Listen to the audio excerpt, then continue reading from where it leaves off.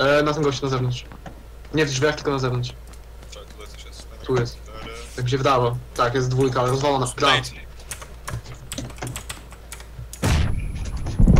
Zaszyło nas. Nie? Dobra, mamy Ja pierdolę, zesprejowałem prawie cały skład!